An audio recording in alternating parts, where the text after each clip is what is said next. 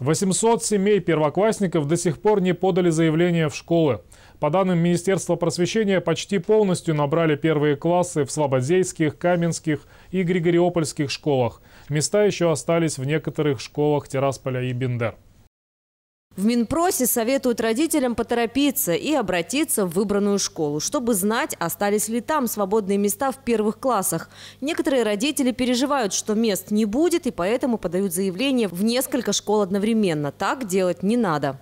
Подавать документы в две школы, в три школы сразу для того, чтобы себя подстраховать, э, нет необходимости. Э, мы бы просили этого не делать, потому что двойной учет первоклассников повлечет э, некоторые трудности в работе и организации образования, и в работе управления народного образования, где ведутся и финансовые расчеты.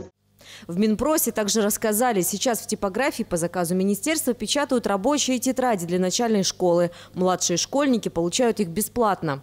Они уже в печати, они уже печатаются. И то, что их хватит всем, это факт. Просто хочется, чтобы 1 сентября э, каждый ребенок получил эти тетради, ему не пришлось ждать, что их будут передавать из одной школы в другую, потому что в этой школе его не учли.